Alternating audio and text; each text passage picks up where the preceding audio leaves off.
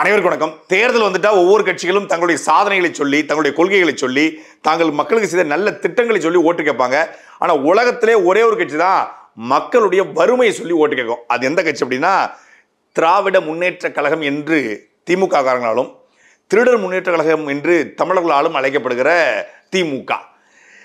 சமீபத்தில் திமுகவுடைய விளையாட்டுத்துறை அமைச்சர் மரியாதைக்குரிய இளைஞரணி செயலாளர் உதயநிதி ஸ்டாலின் அவர்கள் ஒரு தேர்தல் பரப்புரில் பேசியிருக்காரு.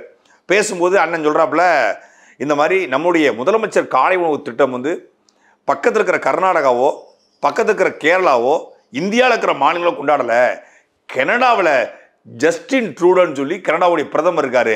அவர் இந்த முதலமைச்சருடைய காலை கலை உணவு திட்டத்தை பார்த்து இப்போ கனடாவில் அந்த காலை உணவு திட்டத்தை கொண்டு வந்திருக்காரு. நம்மளுடைய திராவிட மாடலுடைய புகழை பார்த்து கனடாவுடைய பிரதமர் புகழ்ந்து தள்ளியிருக்காரு. நாலு நாளைக்கு முன்னாடி அவர் ஒரு இன்டர்வியூவில் பேசும்போது இந்தியான்னு ஒரு நாடு இருக்கான். அந்த இந்தியாவில் தமிழ்நாடு ஒரு மாநிலம் இருக்கான் அங்கே தமிழ்நாட்டில் முதலமைச்சர் மு க ஸ்டாலின் ஒருத்தர் இருக்காராம் அவருடைய அந்த காலை உணவு திட்டத்தை பார்த்து தான் நான் கனடாவில் காலை உணவு திட்டத்தை கொண்டு வந்தேன் அப்படின்னு சொல்லி அவர் ஒரு இன்டர்வியூவில் பேசியிருக்காருன்னு சொல்லி மக்கள்கிட்ட பேசுறாரு. ஏமா கேட்டுக்கோங்க.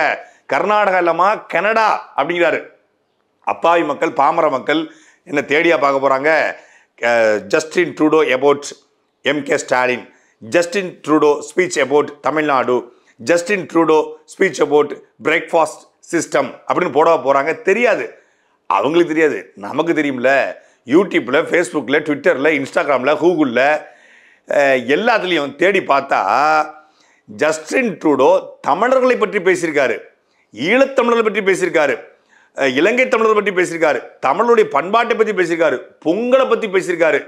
தமிழ் கலாச்சாரத்தை பற்றி பேசியிருக்காரு. ஆனால் தமிழ்நாடு முதலமைச்சரை பற்றியோ காலை உணவு திட்டத்தை பற்றியோ எங்கேயுமே ஜஸ்டின் ட்ரூடோ பேசுனதில்லை. ஜஸ்டின் ட்ரூடோக்கு இப்படி ஒரு முதலமைச்சர் இருக்கிற விஷயமே தெரியறதுக்கான வாய்ப்பு இல்லை அவர் எங்க நீங்க எங்க? கூரை ஏறி கோழி பிடிக்க முடியாதவன் வானை ஏறி வைகுண்டம் போலாமா? அதாவது அடுத்தவன் பிள்ளைக்கு நீங்க இன்சில் போடலாமா ப்ரோ அடுத்தவன் பட்டா போட்ட எண்ணத்துல நீங்க கொட்டா போடலாமா ப்ரோ உதயநிதி ஸ்டாலின் ப்ரோ அள்ளி விடலாம் அவுத்து விடலாம். அதுக்காக இப்படிலாம் அள்ளி விடக்கூடாது. இந்த முதலமைச்சருடைய காலை உணவு திட்டங்கிறது முதல்ல இவருடைய திட்டமே கிடையாது. இந்த முதலமைச்சருடைய காலை உணவு திட்டம் என்பது கர்ம வீரர் எங்களுடைய தாத்தா கிங் மேக்கர் காமராஜருடைய கனவு திட்டம். கல்வ காமராஜர் ஆட்சி காலத்தில் சுதந்திரம் அடைந்து கொஞ்ச நாள் தான் ஆச்சு. அன்னைக்கு மக்கள் கடுமையான வறுமையில் இருந்தாங்க ஏழ்மையில் இருந்தாங்க. அப்போ பள்ளிக்கூடத்துக்கும் மாணவர்கள் வரல. ஏன்னா பள்ளிக்கூடம் அப்பதான் முத முறையாக திறக்கப்படுகிறது. அது வரைக்கும் பள்ளிக்கூடங்கள் கிடையாது.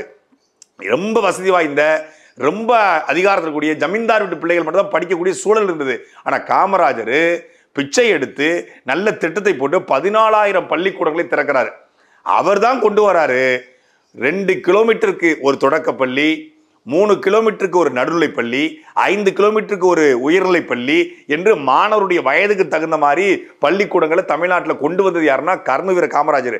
அதுக்கும் இவனுக்கு பெயிண்ட் அடிப்பானுங்க. அதுக்கும் இவனுக்கு ஸ்டிக்கர் ஒட்டுவானுங்க. நாங்கள் தான் இந்த திட்டத்தை கொண்டு வந்தோம். கர்ண கருண கலைஞர் கருணாநிதி தான் இந்த ரெண்டு கிலோமீட்டருக்கு தொடக்க பள்ளி மூணு கிலோமீட்டருக்கு நடுநிலைப் பள்ளி அஞ்சு கிலோமீட்டருக்கு உயர்நிலைப் பள்ளி அப்படிங்கிற திட்டத்தை கொண்டு வந்தார். மாணவர்கள் வந்து ரெண்டு கிலோமீட்டர்னா வந்து தொடக்க பள்ளிங்கிறது ஒரு ஒரு எட்டு வயசு பத்து வயசு. அவன் அவ்வளோதான் நடக்க முடியும். மூணு கிலோமீட்டர் நடுநிலைப் பள்ளிங்கிறது வந்து ஒரு ஒரு பன்னெண்டு வயசு பதிமூணு வயசு. அவனால் அவ்வளோதான் நடக்க முடியும். அஞ்சு கிலோமீட்டருக்கு தொடக்க பள்ளிங்கிறது வந்து அவன் ஒரு பதினாலு வயசு பதினஞ்சு வயசு பதினாறு வயசு. அவனால் சைக்கிள் ஓட்டி போக முடியும். அப்படிங்கிறதுக்காக கொண்டு வந்தது கருணாநிதின்னு சொல்லுவாங்க. இல்லை அது காமராஜர் ஆட்சி காலத்திலே பதினாலாயிரம் பள்ளிக்கூடங்கள் திறக்கப்பட்டுருச்சு. அவர் தான் மதிய உணவு திட்டத்தை கொண்டு வராரு. மாணவர்கள் பள்ளிக்கூடத்துக்கு வரதுக்கு தயங்குறான். என்னென்னு கேட்கும்போது யார் சாப்பாடு போடுவா? வீட்டில் இருந்தால் நாங்கள் வேலைக்கு போனால் சாப்பாடு கிடைக்கும். மாடு மேய்ச்சா ஆடு மேய்ச்சா சாப்பாடு கிடைக்கும். பள்ளிக்கூடத்துக்கு வந்தால் யார் சோறு போடும் போது அவர் யோசிக்கிறாரு. உடனே மதிய உணவு திட்டத்தை கொண்டு வராரு. அதை நவீனப்படுத்தி கொஞ்சம் சத்தான திட்டமாக மாற்றி முட்டையை சேர்த்து கொஞ்சம் பருப்பு கொடுத்து ஒரு கூட்டு கொடுத்து கொண்டு வந்தது எம்ஜிஆருடைய சத்துணவு திட்டம். முதல கர்ம கர்மவீர காமராஜருடைய மதிய உணவு திட்டத்தை சத்துணவு திட்டமாக மாற்றுவது எம்ஜிஆர். இந்த ரெண்டு பேர் தான் இந்தியாவிலேயே இந்த பள்ளிக்கூடங்களில் சாப்பாடு போடணுங்கிற முறையை கொண்டு வந்தவர்கள் உணவு திட்டத்தை ஆரம்பித்து வைத்தவர்கள். அவர்களுக்கு அந்த பெருமை இருக்கிறது. காமராஜருக்கும் எம்ஜிஆருக்கும். ஆனால் அதில் கொஞ்சம் பட்டிட்டிங்கிறீங்க பார்த்து இவர் என்னும் போய் ஏழ்மையை ஒழிக்கிறதுக்கும் எளிமையை ஒழிக்கிறதுக்காகவும் காலை உணவு திட்டத்தை கொண்டு வந்தாரா? என்ன திட்டம்? உப்புமா. அது ரொம்ப தப்புமா? அது ரொம்ப சப்புமா?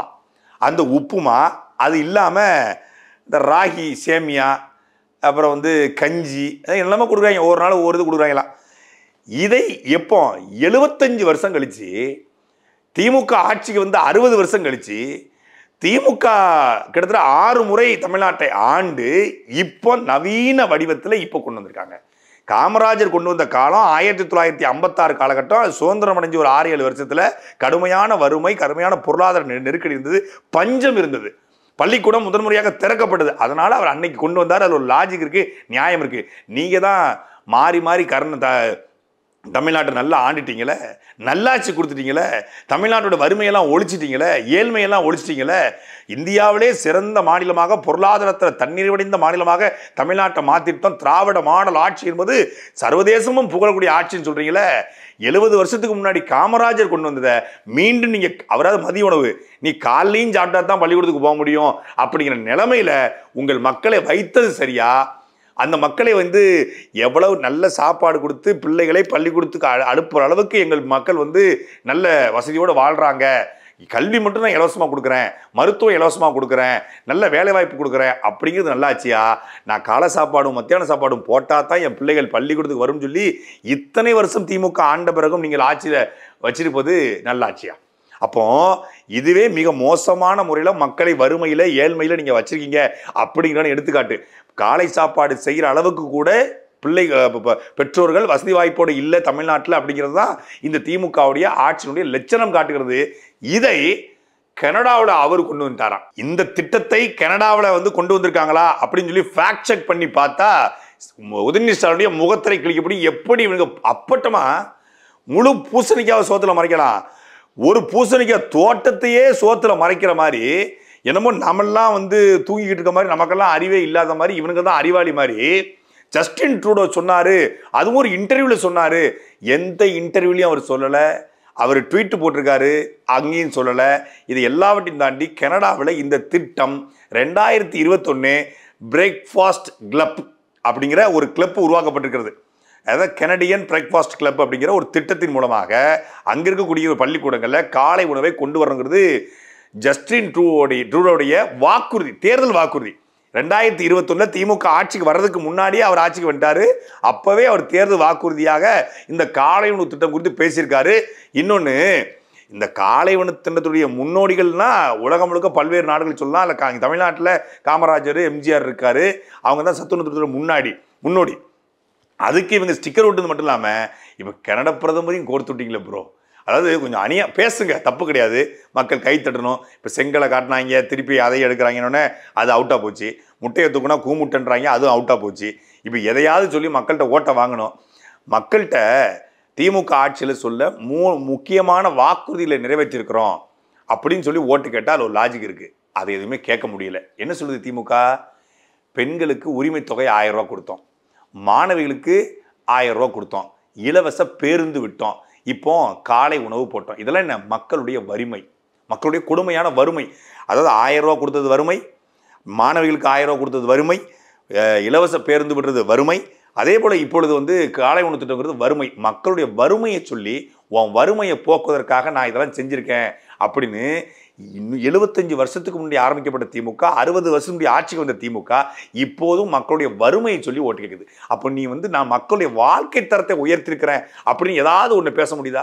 இத்தனை தொழிற்சாலைகளை திமுக அரசாங்கம் இந்த மூன்று ஆண்டுகளில் உருவாக்கி இருக்கிறது உங்களால் சொல்ல முடியுதா?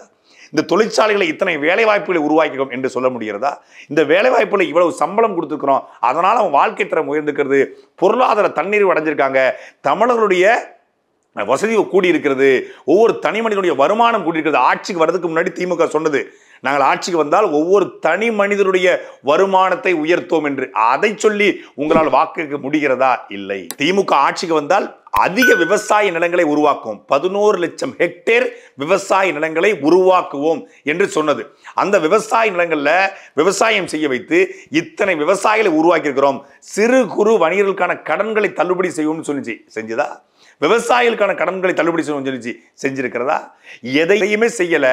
சொன்னதை எதையுமே செய்யாமல் மக்கள்கிட்ட போய் ஓட்டு கேட்க முடியல. அதனால் வறுமையை சொல்லி ஓட்டு கேட்கறது இந்த வறுமைக்கு பிறந்த கூட்டம். திமுக ஆட்சி அப்படின்னாலே திராவிட மாடல் ஆட்சி. திராவிட மாடல் ஆட்சி என்பது சமூக நீதி ஆட்சி. சமூக நீதி ஆட்சி என்பது பெண்களுக்கு கல்வி இளைஞர்களுக்கு கல்வி மாணவர்களுக்கு கல்வி சமூக நீதி சமத்துவம் சம சம சகோதரத்துவம் அப்படின்னு சொல்கிறீங்க இல்லையா?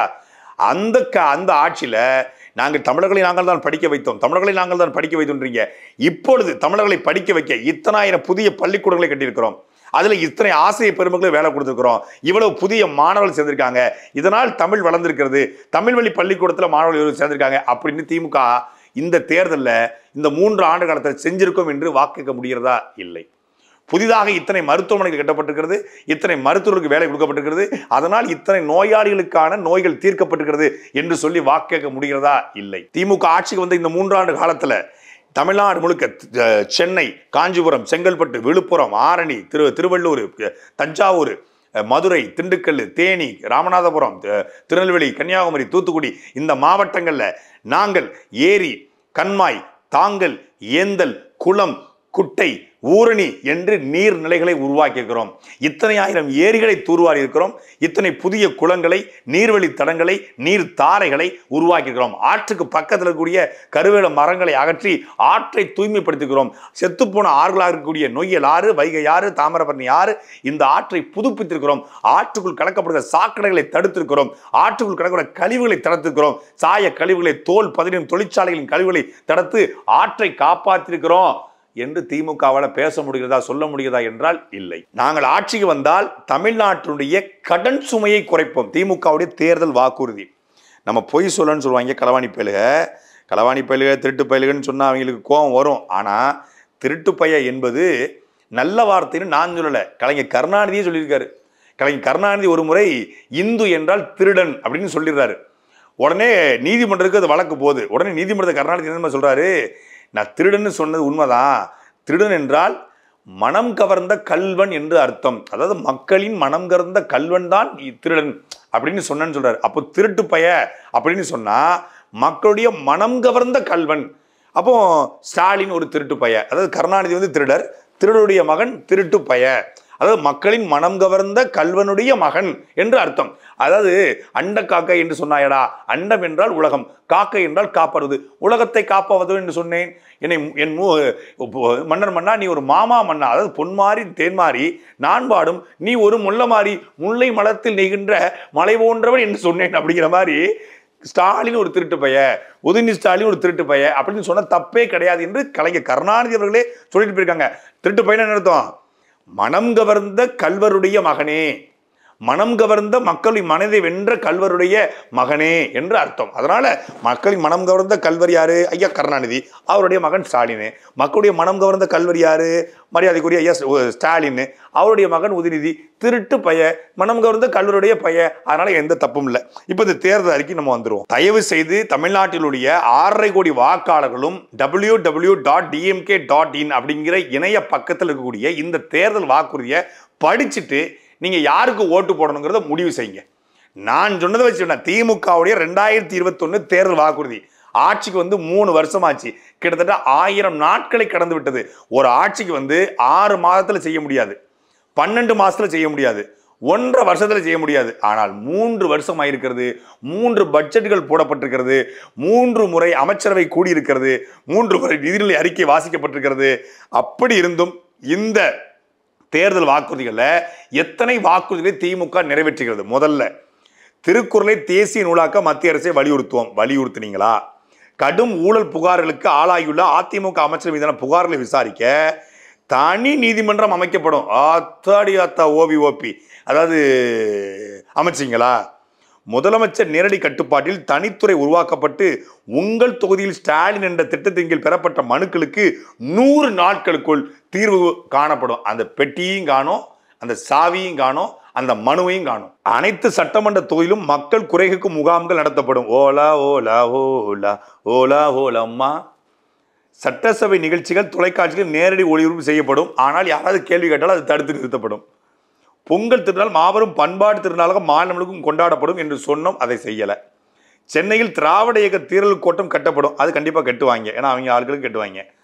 அப்புறம் ஆவின் பால் லிட்டருக்கு மூணு ரூபாய் குறைக்கப்படும் ஓபி ஓபி அனைத்தரப்பு மக்களின் நலத்தையும் கருத்தில் கொண்டு பெட்ரோல் விலை லிட்டருக்கு அஞ்சு ரூபாயும் டீசல் விலை நல்ல காதலே குச்ச விட்டு ஆட்டினாங்க. சமையல் எரிவாயு சிலிண்டர் நூறுரூவாய்க்கு மானியமாக வழங்கப்படும். ஆஹா. பெரிய பெரிய கடப்பாரத்துக்கு காலை சொன்னாங்க. பெரிய மாநகராட்சியில் பறக்கும் சாலை திட்டம் அமைக்கப்படும். அமைச்சிங்களா? நியாய விலைக்கடைகளில் மாதம் ஒரு கிலோ சர்க்கரை கூடுதலாக தரப்படும். உளுத்தம் பருப்பு மீண்டும் வழங்கப்படும். அது உளுத்தம் பருப்பு வாங்கினாலும் உளுத்து பருப்பு பருப்பு வாங்கினாங்கன்னு தெரியல. அதே போல அனைத்து அரசு வேலை வாய்ப்புகளிலும் பெண்கள் இடஒதுக்கீடு முப்பது விழுக்காட்டிலிருந்து நாற்பது விழுக்காடாக ஆக்கப்படும். அப்படியே அறுத்து கிழிச்சிருவாங்க. சட்டமன்றத்தில் இவங்க கட்சியில் போட்டியிடுற வேட்பாளர்களுக்கே பெண்களுக்கு வாய்ப்பு கொடுக்க வாய்ப்பு கொடுக்க வக்கில்ல.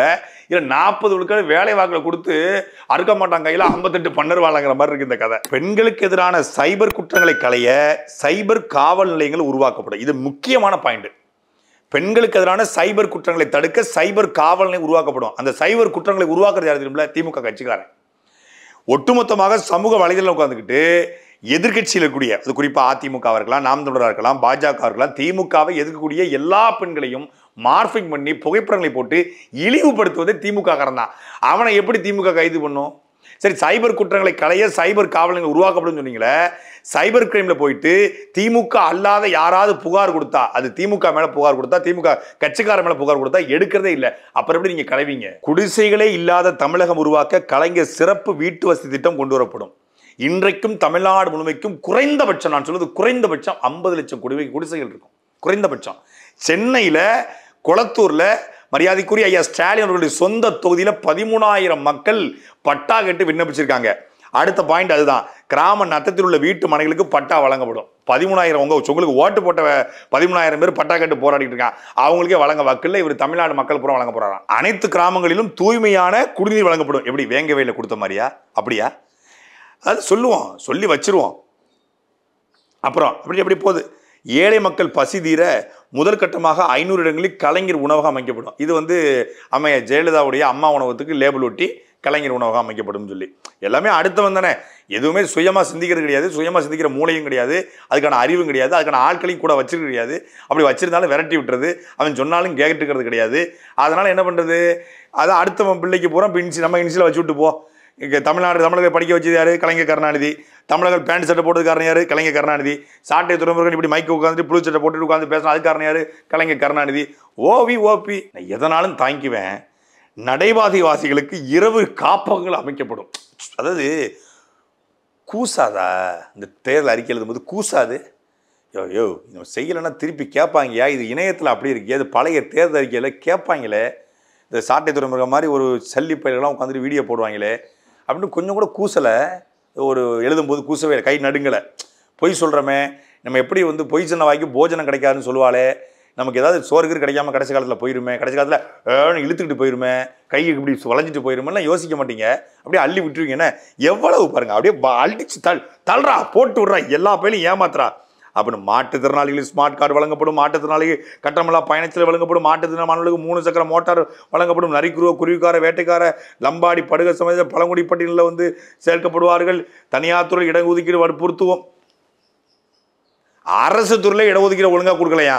இப்போ தனியார் துறையில் இடஒதுக்கீடு கொடுத்து கொடுத்தலாம் சரி தனியார் துறை இடஒதுக்கீடு யாருக்கு? தமிழர்களுக்கா தெலுங்குகளுக்கா பிறமொழியாளருக்கா வடநாட்டுக்காரனுக்கா?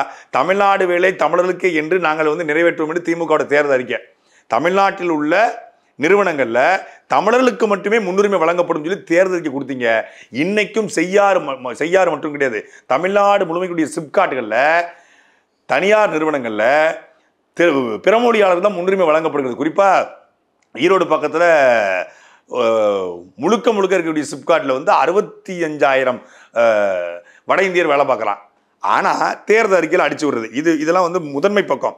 உள்ளே நீங்கள் படிச்சு வச்சுக்கோங்களேன் உங்கள் காதில் ஒரு லிட்ரு தேன் ஒரு லிட்டரு பஞ்சாமிர்தம் ஒரு லிட்ரு நல்ல அப்படியே குழு குழுன்னு ஐஸ்கிரீமு அப்படியே அப்படியே குற்றால தண்ணியை குழுன்னு உள்ளே போயிட்டு வெளியே வந்த மாதிரி இருக்கும். அப்படி இருக்கும். குழு குழு குழு குளுன்னு ஏசியை காதுக்குள்ளே போட்ட மாதிரி சும்மா இருக்கும்.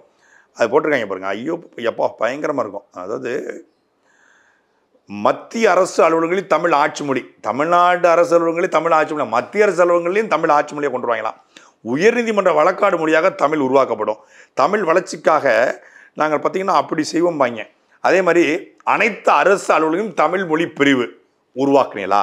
ஈழத்தமிழர் நல்வாழ்னு போட்டு தாயகம் திரும்பிய ஈழத்தமிழருக்கு குடியுரிமை வழங்க முயற்சிப்போம். முயற்சிக்கிட்டே இருக்காங்க மூணு வருஷமா. அப்புறம் மிக முக்கியமா நிர்வாக சீர்திருத்தம். லோக் ஆயுத்தா செயல்பட வைத்தல். அதாவது பொதுமக்களுக்கு இருந்து அரசிலிருந்து கிடைக்க வேண்டிய சாதி சான்றிதழ் பிறப்பு சான்றிதழ் வருவாய் சான்றிதழ் இருப்பிட சான்றிதழ் ஓய்வூதிய பலன்கள் பொது விநியோக திட்ட பலன்கள் உள்ளிட்டவற்றை விண்ணப்பித்தன் குறிப்பிட்ட இவற்றை பெறுவதை உறுதி செய்யும் வகையில் சேவை உரிமை சட்டம் ஏற்றப்படும் இது அத்தனைக்கும் காசு வாங்குறான். இதை தடுப்போம்னு சொன்ன திமுக தடுத்திருக்கிறதா? விஏஓ தலையாரி தொடங்கி இன்னைக்கு தாசில்தார் ஆரம்பிச்சு கலெக்டர் அலுவலகம் வரைக்கும் எல்லாம் காசு. இதே நாங்குநேரியில திமுகவுடைய ஒன்றிய செயலாளர் ஆரோக்கிய எட்வின்னு வேலை வாங்கி தருவதாக திமுக கட்சிக்காரனையே லஞ்சம் வாங்கி ஏமாத்திருக்காரு. இதை வெளிக்கொண்டு வந்தும் அவங்க புகாராக கொடுத்தும் கூட ஏற்றுக்கொள்ள தமிழ்நாடு முழுமைக்கும் ரேஷன் கடையில் எடை பார்ப்பவர்கள் அப்புறம் சத்துணவு ஆயாக்கள் அதே போல் வந்து தலையாரி வேலைக்கு திமுகவுடைய ஒன்றிய செயலாளரும் மாவட்ட செயலாளரும் சட்டமன்ற உறுப்பினரும் ரெண்டுலேருந்து எட்டு லட்ச ரூபா வரைக்கும் தமிழ்நாடு முழுமைக்கும் இந்த மூன்று ஆண்டுகள் லஞ்சம் வாங்கியிருக்காங்க. இந்த லட்சணத்தில் இவர்கள் அதிமுக அமைச்சர் மீதான ஊழல் பட்டியலில் விசாரிக்க போகிறாங்களாம் முதுகில் ஓராயிரம் குப்பை இருக்கு கொஞ்சம் தொடங்க ப்ரோ. அதுதான் ஊழலற்ற நேர்மையான நிர்வாகமா. ஐயோப்போ அப்படியே மேடம் வளப்பழம் மாதிரி பேசாம மேடம் வளப்பழம் மாதிரி பேசாம மேடம் அப்படிங்கிற மாதிரி ஊழலற்ற நேர்மையான நிர்வாகத்தை உருவாக்கலாம். தமிழ்நாடு முழுமைக்கும் பத்திரப்பதிவு துறையில் ஒரு ஏக்கர் ஒரு ஏக்கருக்கு ரெண்டு லட்ச ரூபா கொடுத்தாதான் பத்திரமே பதிவு செய்ய முடியும் என்கிற நிலை இருக்கிறது.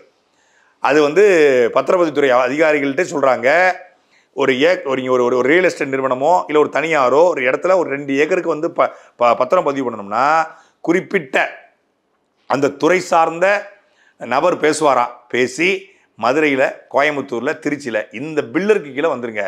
இந்த பில்லருக்கு நம்பர் போட்டிருக்க காரணமே அந்த பில்லருக்கு கீழே இருந்து காசு வாங்க தான்றாங்க இப்போ சென்னையில் கிண்டி பாலம் கிண்டி பாலத்தில் பதினேழாம் நம்பர் பிரிட்ஜி அப்படின்னா பதினேழாம் நம்பர் பிரிட்ஜுக்கு போய் நின்றுறோம் அங்கே யார் வரா எப்படி வராரு அவர் பேர் என்ன எதுவும் தெரியாது. வருவார் கையை கொடுப்பாரு பையன் வாங்கிட்டு போயிட்டே இருப்பார். நேரடியாக திமுக தலைமை குடும்பத்துக்கு போகுது. இவங்க நேர்மையான வெளிப்படைத்தன்மை ஊழலற்ற நேர்மையான நிர்வாகத்தை உருவாக்க போகிறாராம் நேரடியாக லஞ்சம் வாங்கிக்கிட்டு. இதெல்லாம் தமிழ்நாட்டு மக்களை ஏமாத்த. அதிமுக கட்சிக்காரனை ஏமாத்துறதுக்கு திமுக அதிமுக கட்சி ஓடி ஓட்டு நமக்கு வேணும். அவன் என்ன பண்ணுறது முன்னாள் முதலமைச்சர். அம்மையார் ஜெயலலிதாவின் மர்ம மரணம் குறித்து விசாரணை அமைப்ப விசாரணை ஆணையம் அமைக்கப்படும். முன்னாள் முதலமைச்சர் ஜெயலலிதாவின் இறப்பிலுள்ள மர்ம மரணம் குறித்து கலகாட்சியில் உரையாட விசாரணை நடத்தி தவறுகள் எழுத்தவர்கள் எவராயிரும் அவர் உரிய சட்ட நடவடிக்கை உள்ளாக்கப்படுவர். ஏதாவது செஞ்சல? ஏதாவது நடந்துச்சா? கைது செய்யப்பட்டாங்களா? யாராவது சிறைப்படுத்தப்பட்டிருக்காங்களா? வழக்கு ஏதாவது பதிவு செஞ்சீங்களா சரி ஜெயலலிதாவுடைய மர்ம மரணம் வேண்டாம். கொடநாடில் கிட்டத்தட்ட அஞ்சு பேர் கொலை செய்யப்பட்டாங்களே. நீங்கள் கொடநாடு கொலை வழக்குக்கு நான் ஆட்சிக்கு வந்தால் தீர்வு காண்பேன். எடப்பாடி பழனிசாமி மீது வழக்கு தொடுப்பேன்னு சொன்னீங்களே ஏன் ஒரு வழக்கு கூட தொடுக்கல? அஞ்சு பேர் அவனே கழுத்தறுத்து செத்து போனானா? இவங்க சொன்னதிலே பெரிய பொய் என்ன தெரியுமில இந்த பொய் தான். தமிழ்நாட்டின் கடன் சுமையை குறைப்போம். அதாவது கையாளாகாத அதிமுக அரசாங்கம் ஊழல் நிறைந்த கையாளாகாத அதிமுக அரசின் தவறான நிர்வாகம் மற்றும் தவறான பொருளாதார கொள்கையினால் தமிழ்நாட்டின் கடன் சுமை ஒன்பது லட்சம் கோடி அளவில் அப்போவே ஒம்பது லட்சம் கோடியா? நான் அஞ்சு லட்சம் கோடி நினச்சிக்கிட்டு இருந்தேன். அம்- ஒன்பது லட்சம் கோடி அளவில் கூடி உள்ளது. தமிழ்நாட்டில் பிறக்கும் ஒவ்வொரு குழந்தையும் ஒன்னே கால் லட்ச ரூபா கடனோடு பிறக்கிறது. அதை சரி செய்ய சரியான நடவடிக்கை அரசு பரிந்துரைப்பிற்கு ஒரு உயர்நிலை குழு அமைக்கப்படும். எங்கள் அண்ணன் சீமானன் சொல்லுவாங்க டேய் இந்த புழு கூட அரைஞ்சி நகரம்டா. ஆனால் திமுக போட்ட குழு இருக்குல்ல அது அங்கேயே கிடக்கலாம் பாரு. அப்படிப்பட்ட குழு தான் இந்த குழு. நான் படிச்சிருக்கிறது வெறும் முப்பத்தஞ்சு தான். இது மாதிரி விவசாய நலன் சிறு குறு விவசாயிகள் கடன் தள்ளுபடி அனைத்து உணவுப் பொருளுக்கும் குறைந்தபட்ச ஆதார விலை நூறு நாள் வேலை திட்டம் நூற்றம்பது நாள் அழைக்கப்படும். ஏழை விவசாயிகளுக்கு மின் மோட்டார் வாங்க வாங்க மானியம் ஏ வேளாண் மகளிருக்கு மானியம் அப்புறம் மரபணு மாட்டு தொழில்நுட்பக்கு அனுமதி மறுப்பு கிருஷ்ணகிரியில் தோட்ட பல்கலைக்கழகம் பனைவெள்ள உற்பத்திக்கு ஊக்கத்திட்டம் அள்ளி விட்டுருக்காங்க ஐநூற்றி இருபத்தி மூணு வாக்குறுதி. இந்த ஐநூற்றி இருபத்தி மூணு வாக்குறுதியில் கருணாநிதிக்கு சமாதி அமைச்சதை விட தவிர்த்துட்டு கருணாநிதிக்கு நூலகம் அமைச்சதை தவிர்த்துட்டு கிளாம்பாக்கம் பேருந்து நிலையம் கட்டப்பட்டதை தவிர்த்துட்டு வேற ஏதாவது உருப்படியாக பண்ணியிருக்கீங்களான்னு சொல்லுங்க. பூ. ஒருத்தன் ஊர் முழுக்க விளம்பரம் பண்ணியிருக்கான் நானூறுரூவா இருந்தால் நீங்கள் வாழ்க்கை முழுக்க நல்லா உட்காந்து சாப்பிட்லான்னு. என்னப்பா சொல்கிற நானூறுரூவா இருந்தால் வாழ்க்கை முழுக்க நல்லா உட்காந்து சாப்பிட்லாமா? ஏ அருமையான யோசனையாக இருக்கப்பா. என்னப்பா சொல்லுப்பா அப்படின்னு இருக்காங்க நீ வாங்க நாளைக்கு காலைல வாங்க அப்படின்னு இருக்கான் அங்கே போனால் பெரிய வரிசை. ஏவா வாழ்க்கை முழுக்க நானூறுரூவா இருந்தால் வாழ்க்கை முழுக்க நல்லா உட்காந்து சாப்பிடலான்னு ஊர் முழுக்க விளம்பரம் பண்ணிக்கானே ஏங்க உண்மையிலே நானூறுரூவா தானாங்க இல்லை நாலாயிரமா நாற்பதாயிரமா? நான் ஜீரோ எதுத்த பார்க்குறேன் இல்லைங்க நானூறுரூவா தான் போட்டிருக்கீங்க. நல்லா பார்த்தீங்கன்னா நானூறு தான் போட்டுக்கிட்டு இருக்காங்க. அங்கே போனால் அக்கா சித்தி பெரியம்மான்னு எல்லாம் நிற்கிது வரிசையா. ஏ என்னப்பா நானூறுரூவா இருந்தால் வாழ்க்கை முழுக்க நல்லா உட்காந்து சாப்பிடலான்னு போட்டானாப்பா. எப்பா இது போதுமாப்பா? நம்ம இது தெரியாமல் உட்காந்து கஷ்டப்பட்டு கிடக்கமாப்பா? தினம் தானே வெம்பாடு போட்டுக்கிட்டு சொல்லி பெரிய கியூ உள்ளே அண்டி அடிச்சு போயிருக்காங்க. கதவை திறந்திருக்கான் பெரிய வரிசையை நின்றுட்டு இருந்திருக்காங்க.